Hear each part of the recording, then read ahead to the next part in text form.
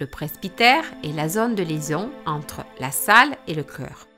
Il est délimité par une balustrade sinueuse fermée par la grille en fer forgé provenant de l'église du XVIe siècle.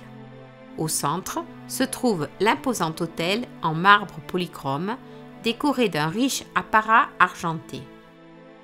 Le trône, enrichi par les angelots et les instruments de la Passion, est particulièrement remarquable.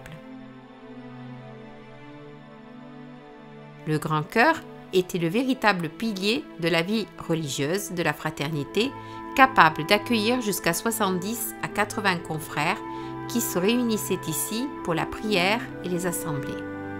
Au centre de la série de bancs se trouve celle que l'on appelle la chaire de San Bernardino, œuvre du XVe siècle, en partie remaniée, sur laquelle, dit-on, s'est assis Bernardino de Sienne pendant son séjour dans la ville en 1418.